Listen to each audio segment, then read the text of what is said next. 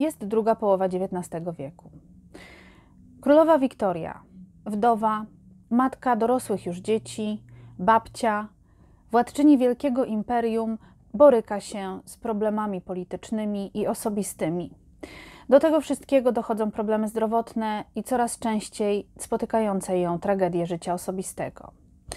U jej boku pojawia się przyjaciel John Brown, który pomaga jej przejść przez wszystkie trudności, stoi dzielnie przy niej, będąc jej przyjacielem, powiernikiem i pocieszeniem w samotności. Czy jednak takie uczucie ma szansę przetrwać w świecie wielkiej polityki? Czy tragedie wreszcie przestaną dotykać Wiktorię? I jak zakończy się jej wspaniałe życie? Dowiedzcie się. Zapraszam na kolejny odcinek Wyspy Historii.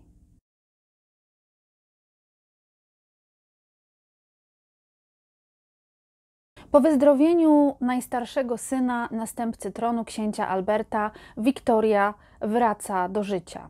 Wraca do życia w bardzo brutalny sposób. Mianowicie dwa dni po tym, e, jak odbyło się wielkie nabożeństwo, by podziękować za uzdrowienie księcia Alberta, zamachowiec po raz kolejny próbuje odebrać życie Wiktorii.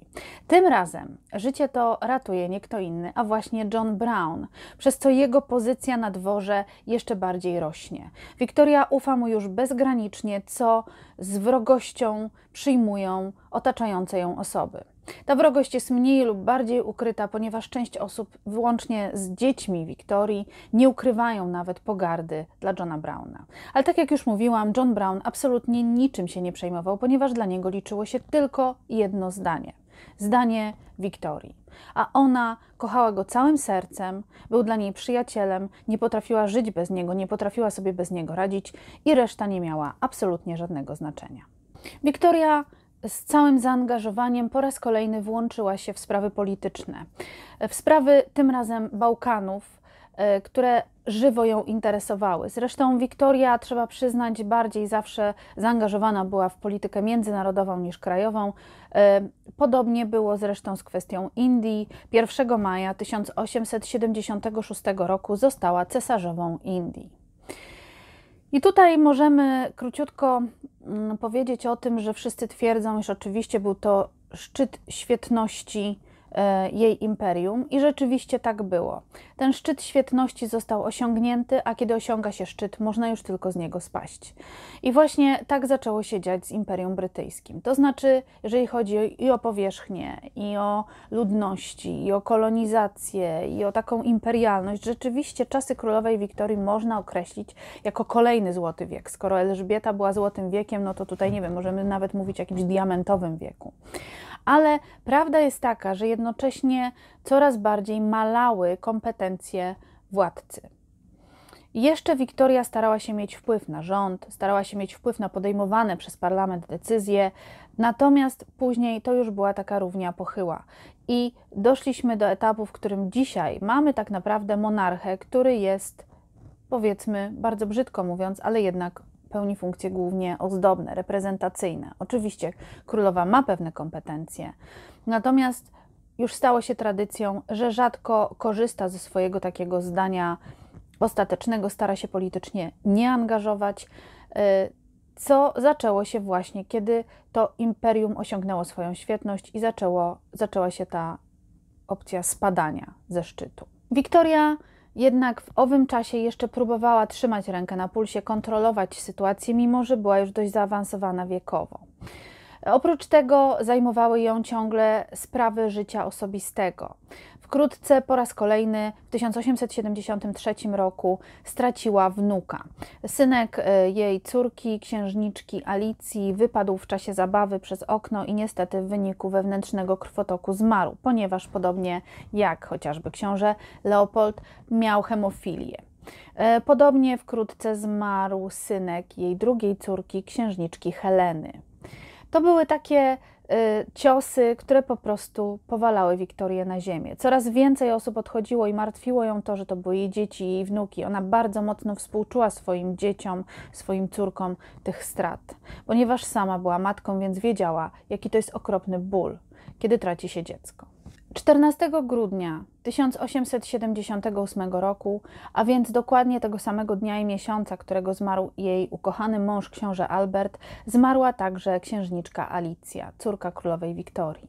W momencie śmierci miała zaledwie 35 lat. Później ta seria cały czas trwała zmarł najmłodszy synek e, księżniczki Wiki, książę Waldemar. Wreszcie zmarł również Benjamin Disraeli. To był premier ukochany, jeden z dwóch ukochanych premierów królowej Wiktorii, z którym łączyła ją szczególna więź, z którym współpracowali przez bardzo wiele lat, który darzył ją ogromnym sentymentem i który był dla niej również wielkim wsparciem po śmierci księcia Alberta. Dla Wiktorii zakończyła się pewna epoka. Epoka, która nigdy już miała nie wrócić.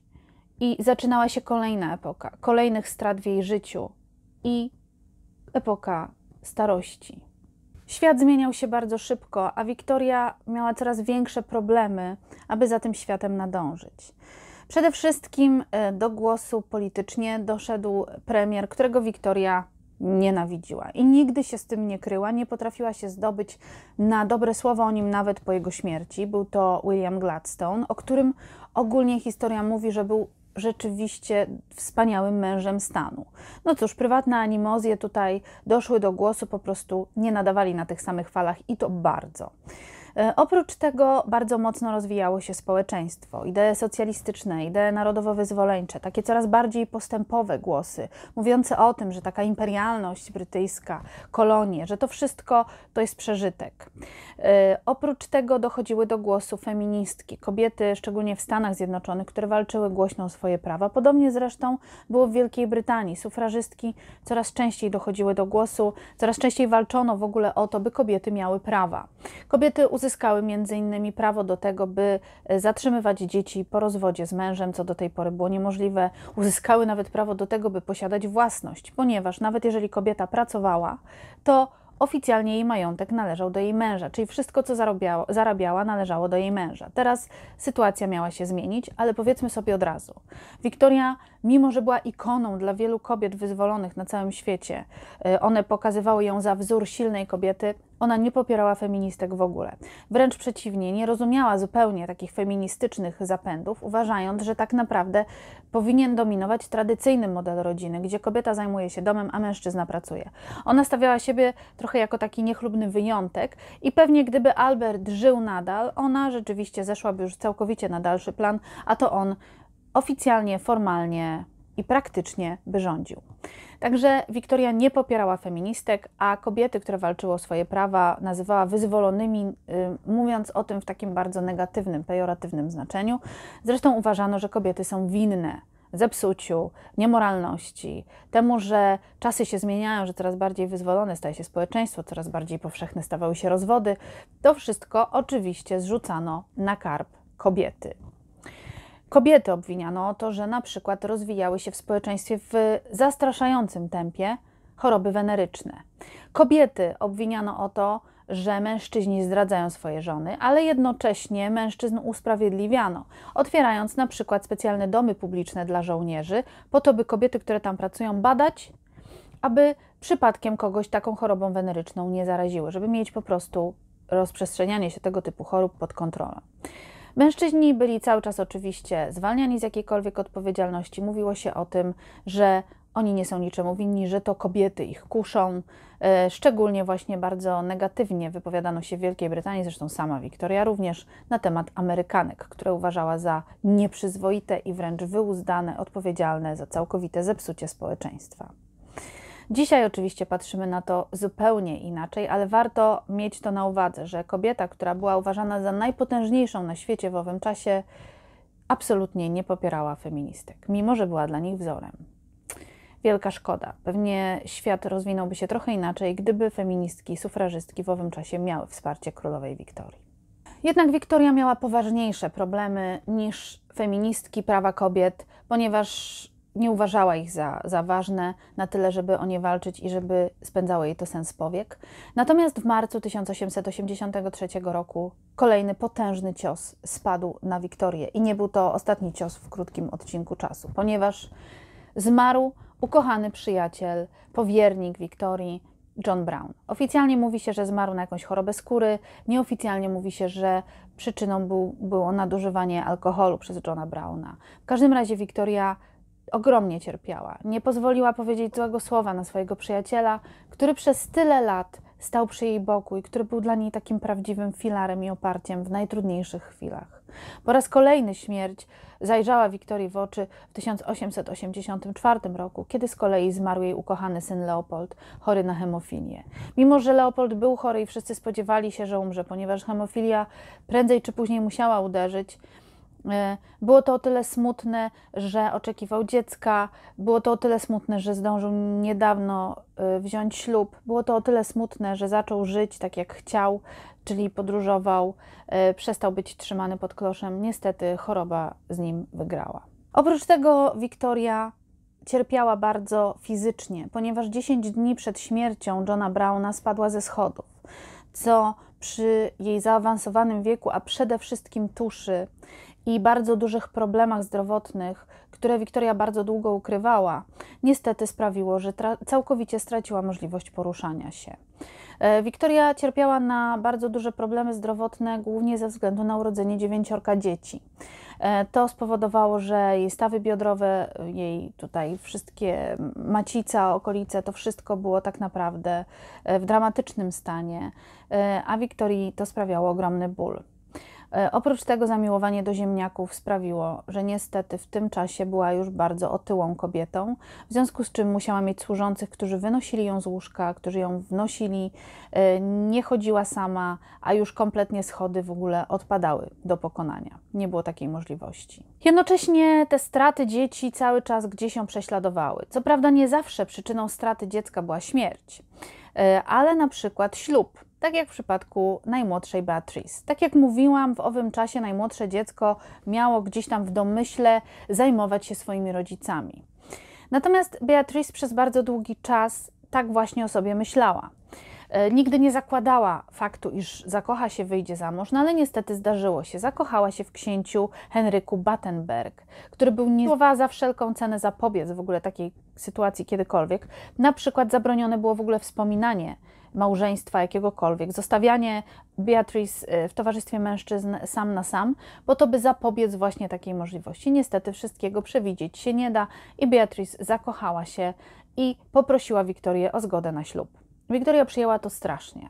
Przez kilka miesięcy w ogóle nie odzywała się do swojej córki, y, do jej zięcia to już w ogóle. W końcu jednak dotarło do niej, że z jej zgodą czy bez będzie musiała ten temat podjąć. Postanowiła więc zgodzić się na ślub, ale stawiając jeden warunek. Beatrice pod żadnym pozorem nigdzie nie wyjedzie, zostanie z matką i będzie z matką mieszkała. Mało tego. E, małżeństwo miało być do dyspozycji Wiktorii, czyli jeżeli Wiktoria gdzieś wyjeżdżała, na przykład chociażby na wyspę White, wówczas Beatrice ze swoim mężem mieli jej w tym towarzyszyć. Ona sobie zagwarantowała, że nie zostanie sama. Nie było innego wyjścia, Beatrice zgodziła się, bo niby co miała zrobić. 23 lipca 1885 roku na wyspie White odbył się ślub księżniczki Beatrice i jej męża, księcia Henryka z Battenberg. E, I co prawda, cała ceremonia nastroiła Wiktorię bardzo depresyjnie. Jednak była to ceremonia skromna, piękna i naprawdę pełna uczuć, a wkrótce królowa odkryła, że jej zięć jest wspaniałym, inteligentnym, dowcipnym człowiekiem i darzyła go ogromną sympatią. Uwielbiała spędzać z nim wieczory, uwielbiała z nim rozmawiać, słuchać jego anegdot. On był takim powiewem świeżości w jej życiu, więc cała sprawa w zasadzie, przynajmniej na tym etapie, zakończyła się pozytywnie. Mimo, że postęp cały czas się toczył, niezależnie od tego, jak Wiktoria chciała na to patrzeć, ona cieszyła się ze swojego rządzenia, cieszyła się z faktu, że jest królową. Wreszcie zaczęła to doceniać, yy, ponieważ tak naprawdę ta rola bardzo jej odpowiadała. Czuła się dumna, odpowiedzialna za swój naród, czego największym wyrazem był jej złoty jubileusz, czyli jubileusz 50-lecia wstąpienia na tron. 21 czerwca 1887 roku wśród wiwatujących tłumów Wiktoria swoim powozem jechała na nabożeństwo do opactwa westminsterskiego, by właśnie świętować swój złoty jubileusz. Miała bardzo dużo czasu, by się nad sobą zastanawiać. Krzy słyszała krzyki ludzi, prostych ludzi, ludzi pracy, rolników, którzy znajdowali się w tłumie krzycząc y, dajesz mała, tak jest, takie, takie bardzo miłe rzeczy. E, I podświadomie Wiktoria uśmiechała się do siebie, mimo że los jej nie oszczędzał. Przez lata swojego panowania urodziła dziewięcioro dzieci, e, straciła męża, dwoje dzieci, pięcioro wnuków i najlepszego przyjaciela, powiernika Johna Browna. Cały naród jednak świętował wraz z nią. Ona już była ikoną. Wielu nie pamiętało nawet, jak, jak wygląda życie bez Wiktorii na tronie. To było 50 lat, więc młode pokolenia nie znały innego władcy, nie miały porównania. Ona była takim stałym punktem na osi czasu. Wszystko się zmieniało, ona trwała dalej. W swoim czarnym stroju, w swoim czepku wdowy trwała jak taka babcia czuwająca nad wszystkim. I to było takim elementem stabilizacji w społeczeństwie. Jedyne, co tak naprawdę Wiktorię bardzo gnębiło, to była samotność, ale ona długo nie potrafiła być sama i już w czasie obchodów 50-lecia wstąpienia na tron e, u jej boku pojawił się jej hinduski służący. Abdul Karim, bo tak się nazywał, był muzułmaninem pochodzącym z Indii i początkowo podawał do stołu królowej Wiktorii. Wiktoria e, lubiła się otaczać ludźmi takiej egzotycznej e, urody, egzotycznego pochodzenia, bo to miało wprowadzać taki element e, nowości, takiego luksusu, takiego orientu na jej dwór, pokazywać, jak bardzo różnorodne jest jej imperium. Jednak Karim był bardzo ambitnym człowiekiem. Nie zamierzał poprzestać na tym, by podawać królowej do stołu. Zaczął się wkradać w jej łaski, zaczął zdobywać jej zaufanie, prawił jej komplementy, był przy niej, e, zaczął ją uczyć e, swojego języka, ponieważ Wiktoria bardzo chciała móc e, ze swoimi poddanymi porozumiewać się w ich języku. Zaczął ją uczyć historii, zaczął ją uczyć tego, jak wygląda życie w jego kraju, jednocześnie stwarzając wokół siebie taką aurę wyjątkowości.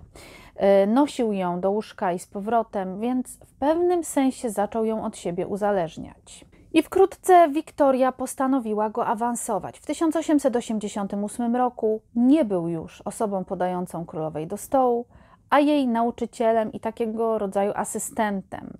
Uzyskał tytuł Munshi i tak też na niego wołano Munshi. E, coraz bardziej otaczał ją swoją osobą, ale coraz bardziej jednocześnie był wyobcowany na dworze, ponieważ ludzie, którzy znali Wiktorię i znali Abdul Karima, widzieli, jak jest ambitny, jak jest pazerny na władzę, jak bardzo chce zaszczytów i tego, żeby na przykład traktowano go y, w taki sam sposób jak królową. Żądał przyjmowania go na wszystkich salonach, żądał zaproszeń na każde wydarzenie, na którym pojawiała się Wiktoria, każde jakieś sprzeciw, czy na przykład, y, nie wiem, delikatną aluzję, że może nie powinien tam być, albo powinien być usadzony dalej w innym miejscu, uznawał za straszną obrazę, bardzo się obrażał, a Wiktorię to strasznie bolało, więc starała się robić wszystko, żeby go po prostu nie urazić. Y, był znienawidzony na dworze, obgadywano go, szukano jakichś powodów do tego, żeby się go pozbyć i nie ukrywajmy, nie było to wcale takie trudne. Przede wszystkim Munshi uważany był przez Wiktorię za takiego wspaniałego, świętego, dobrego człowieka. Wcale taki nie był.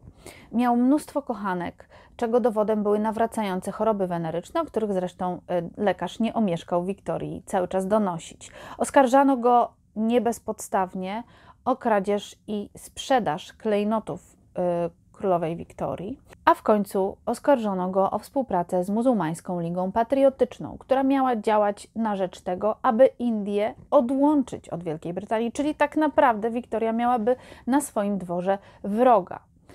E, mówiono o tym, iż nie jest tym, za kogo się podaje. Podawał się za osobę wysoko urodzoną e, w Indiach. Okazało się, że wcale tak nie było i o wszystkim donoszono Wiktorii. Wiktoria coraz bardziej się do niego zrażała, ale do swojej śmierci go nie odprawiła. Po prostu w pewnym momencie zaczęła go odsuwać od siebie trochę bardziej, natomiast Abdul Karim na jej dworze przebywał aż do momentu jej śmierci.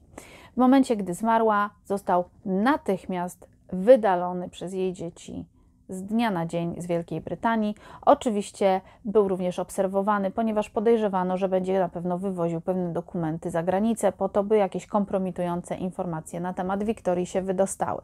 Zresztą tak też się stało, ponieważ Abdul Karim po powrocie do Indii troszeczkę tych sekretów ujawniał. Żył z tego zresztą, że był służącym królowej Wiktorii. Ale on był dowodem na to, że Wiktoria cały czas potrzebowała wokół siebie ludzi, potrzebowała męskiego ramienia. I Munshi właśnie tym męskim ramieniem dla niej był. Lata mijały, kolejny jubileusz, tym razem 60-lecia e, wstąpienia na tron w 1897 roku, e, jubileusz diamentowy. Wiktoria po raz kolejny świętowała ze swoimi poddanymi. Miała świadomość tego, jak czas upłynął. Była już staruszką, która nie była w stanie wejść do kościoła, do katedry świętego Pawła, gdzie odbywało się całe nabożeństwo, więc wystawiono jej specjalne takie e, stanowisko, aby mogła przysłuchiwać się mszy, nie wchodząc po schodach. Oczywiście chodziło o to, żeby królowej nie wnosić po schodach, żeby oszczędzić jej wstydu przed poddanymi.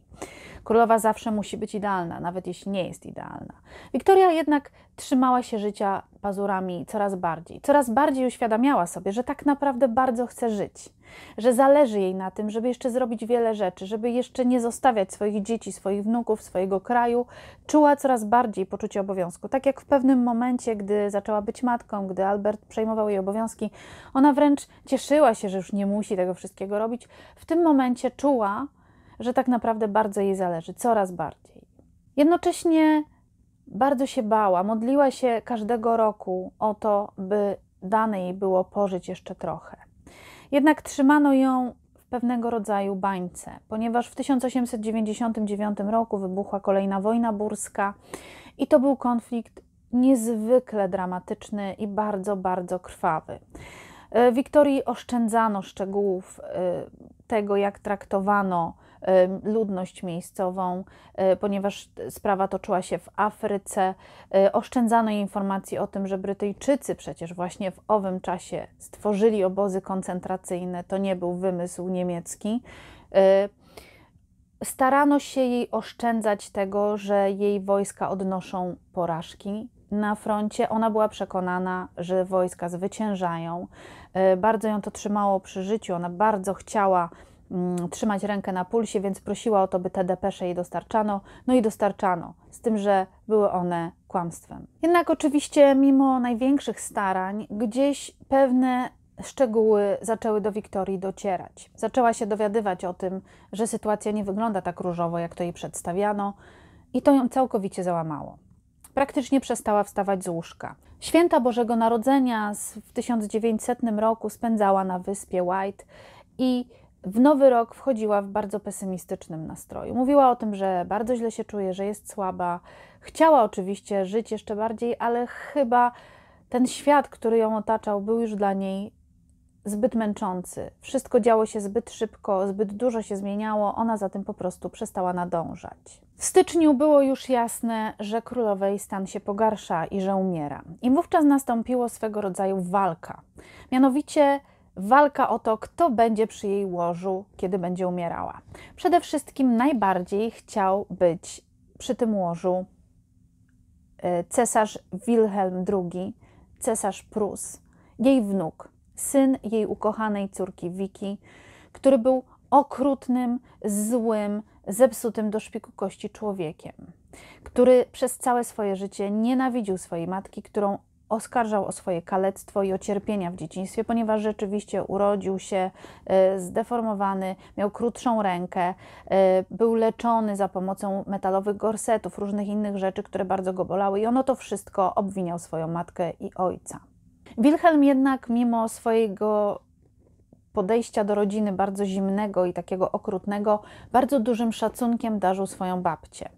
Można powiedzieć nawet, że ją kochał na swój patologiczny, psychopatyczny sposób i dlatego bardzo chciał być przy jej łożu w momencie, gdy umierała.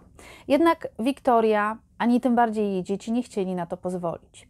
Naciskał na to lekarz Wiktorii, który w końcu załatwił Wilhelmowi, który przybył do Wielkiej Brytanii, taką wizytę y, u umierającej królowej. 22 stycznia 1901 roku królowa Wiktoria zmarła. Zmarła w otoczeniu rodziny, w ramionach swojego najstarszego syna. Zmarła ikona, zmarła osoba, która dla wielu była symbolem takiej stałości i niezmienności. E, w pewnym sensie było to dobre, mimo tego, że Wiktoria była konserwatywną osobą. Czasami potrzebujemy takiego stałego punktu na horyzoncie, do którego zawsze możemy się odnieść niezależnie od tego, co się dzieje, ponieważ zmiany są zawsze płynne, więc ten stały punkt daje nam takie poczucie bezpieczeństwa. I właśnie taką osobą była Wiktoria. Wiktoria, kiedy zmarła, świat po prostu zatrzymał się na chwilę. Ludzie nie wiedzieli, w jaki sposób to sobie poukładać wszyscy płakali, rozpaczali. Jej pogrzeb, który się odbył, był przepięknym pogrzebem, ponieważ po raz pierwszy od lat Wiktoria nie miała na sobie czerni, tylko biel.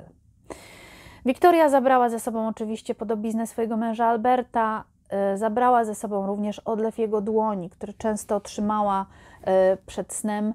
E, włożono jej to do trumny, włożono jej również pukiel włosów, Johna Browna oraz coś, co później podsycało plotki wielokrotnie. Mianowicie ona miała na palcu obrączkę, którą otrzymała od Johna Browna. Obrączka ta należała do jego matki i dlatego pojawiały się często plotki o tym, że królowa Wiktoria poślubiła Johna Browna.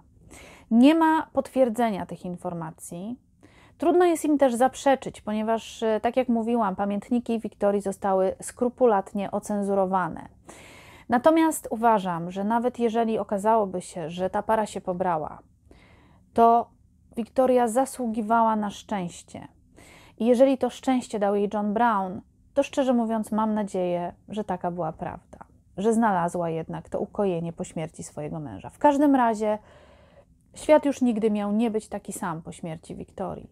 Możemy oceniać ją różnie, możemy mówić, że była właśnie konserwatywna, że czasy wiktoriańskie to synonim zakłamania i hipokryzji, ponieważ o wielu rzeczach się nie mówiło, to nie znaczy, że się ich nie robiło. Że Wielka Brytania stawała się imperium, ale robiła to w sposób krwawy, bezlitosny dla podbijanych ludów. Ale takie to były czasy. Wszystkie kraje tak działały. Wszystkie kraje, które miały takie zapędy imperialne, działały dokładnie tak samo. I Wiktorię trudno jest obarczyć winą za to, że tak to wyglądało. Ona po prostu dostosowywała się do świata, w którym żyła. Od dziecka usiłowała znaleźć miłość, od dziecka szukała tego ojca, którego zabrakło jej we wczesnym dzieciństwie. Miała bardzo trudne dzieciństwo, e, bardzo burzliwy początek swojego panowania, gdzie popełniła wiele błędów, ale zwalmy to na karby młodości. E, przeżyła straszne tragedie, łącznie ze śmiercią męża, po której z trudem się pozbierała. Ale myślę, że co warte podkreślenia i tak naprawdę za co warto Wiktorię kochać najbardziej, to to, że po każdym upadku się podnosiła. Po każdym, nawet największym. A to oznacza, że skoro jej się udawało, każdemu może się udać. I to ludzi trzymało przy niej, i to sprawiało, że ludzie tak bardzo ją kochali. Wiktoria miała już spokój. Natomiast miały zacząć się dość ciężkie czasy, szczególnie dla Bertiego, który teraz miał być królem Edwardem VII. Ale to już temat na zupełnie inny odcinek Wyspy Historii. Jeżeli ten odcinek Wam się podobał, jeżeli losy Wiktorii Was poruszyły, zainteresowały, dawajcie łapki w górę, subskrybujcie mój kanał. Zapraszam również na moje konto na Instagramie. Pamiętajcie również, że możecie wspierać mój kanał przez YouTube. E, jeżeli chcecie, aby odcinków było więcej, by pojawiały się częściej, możecie mi pomóc, da darować mi e, bezpieczeństwo po to, abym mogła więcej czasu poświęcać na rozwój swojej pasji. Także bardzo proszę, jeżeli możecie, jeżeli chcecie, to będę Wam bardzo wdzięczna za każde wsparcie. Następny odcinek Wyspy Historii oczywiście już za tydzień. Zapraszam Was do rezerwowania sobie wycieczek i zwiedzania Londynu ze mną. E, proszę, abyście rozważyli taką możliwość, jeśli wybieracie się do Londynu, e, piszcie do mnie wcześniej, zaklepujcie sobie terminy, ponieważ później może być już problem z tymi terminami. Także jeżeli przyjeżdżacie sami e, z firmą, z rodziną, ze szkołą, z klasą, zapraszam Was bardzo serdecznie, z przyjemnością pokażę Wam to cudowne miasto. Zresztą nie tylko sam Londyn, bo również całą wyspę z wielką przyjemnością pokażę Wam. W opisie filmu będzie Y, adres e-mail. Zapraszam Was również oczywiście do rezerwowania sobie lekcji angielskiego online. Zapraszam Was na kolejny odcinek Wyspy Historii już za tydzień. Pa!